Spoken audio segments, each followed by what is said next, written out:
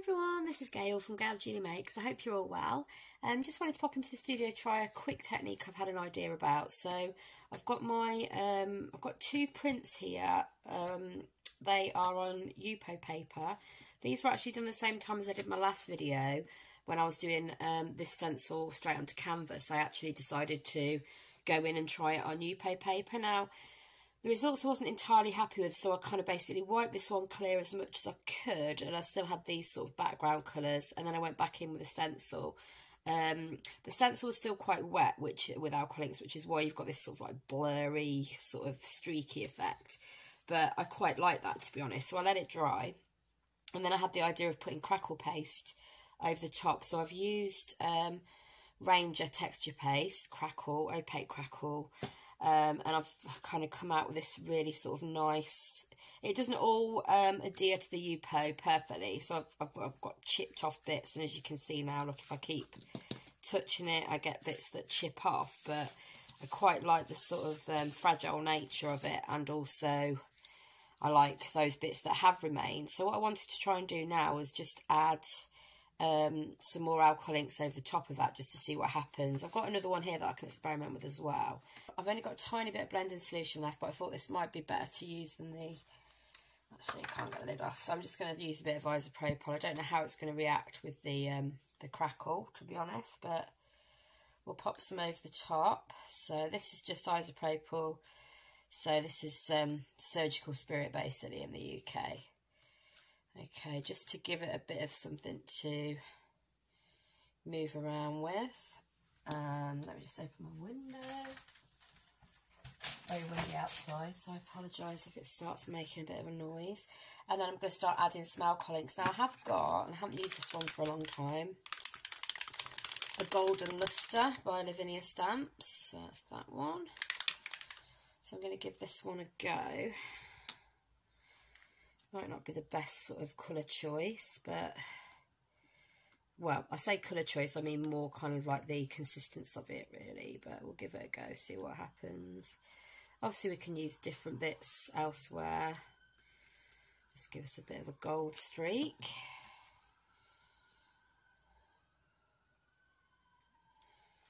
we can just start to shift that around. Don't know what's going on out there. Lots of sirens. Okay, and what I'm going to do is just plug in my cool air dryer. Um, bear with me, guys.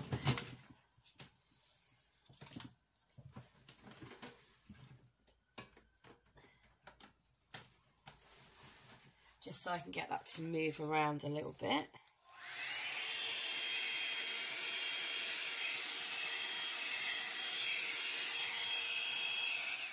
Quite liking that gold actually on there. But I want to break it up a little bit more, liking it down here. So let's use a bit of, it sounds silly using white on top of white, but I just want to try a little bit of the white just to sort of, you know, strip it back again. So this is another Lavinia Stamps one.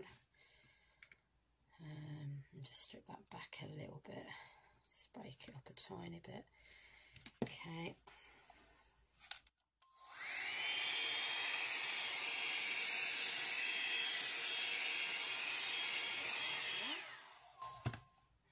Maybe go for a bit more actually over the face around that area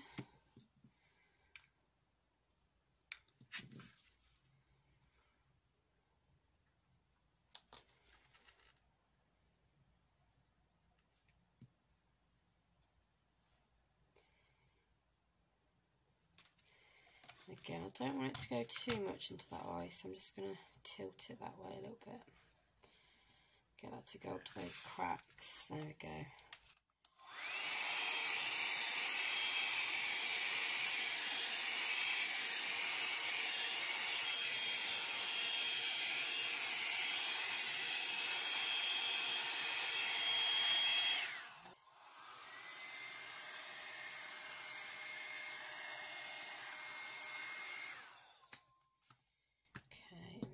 up here. We'll go for some of um, the patina colour, I think.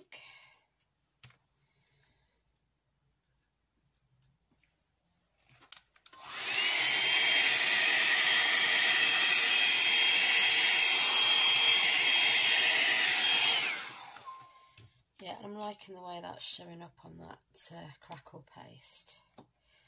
So, obviously if we've got somewhere we've got some here, I haven't added alcohol, in, uh, sorry, isopropyl to that, so we can just lay that down. And obviously you can see it sort of, you know, So I think basically if you want that sort of stronger crackle look, then you're best not really bothering with um, with the isopropyl. If I just lay a bit of this down, obviously that's over the top of that, so I might just, it's that nice Valencia colour that I got recently, I'm going to add a bit to that.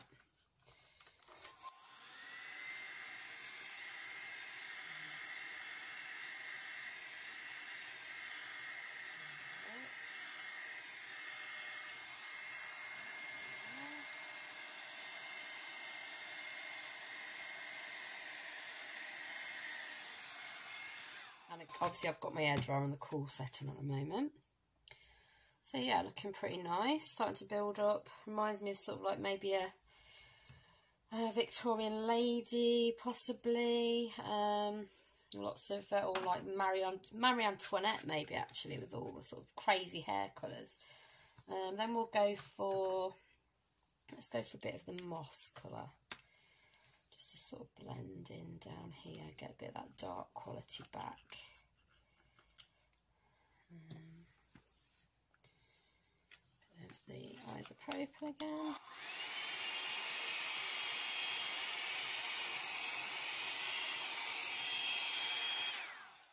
Okay, and maybe just get a little bit of white back on there.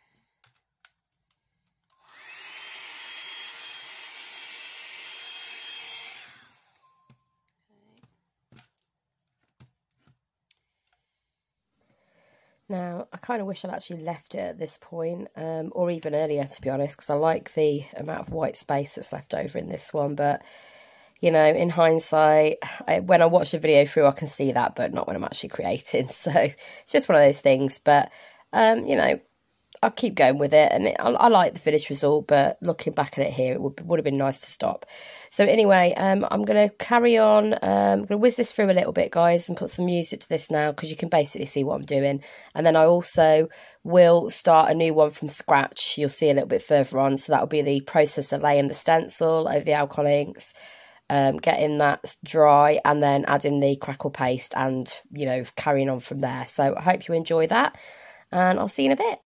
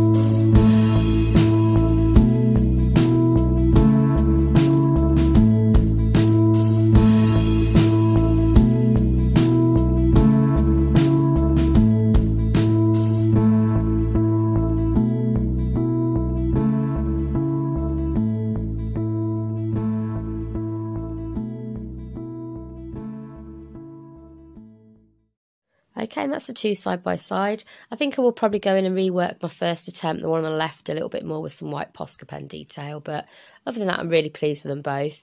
Um, if you've liked what you've seen and you'd like to subscribe, please click my profile picture top left there and then hit the bell on all notifications if you want to know whenever a new video comes out. Bottom left there is another video I think you'll be interested in, so hopefully you'll check that one out too.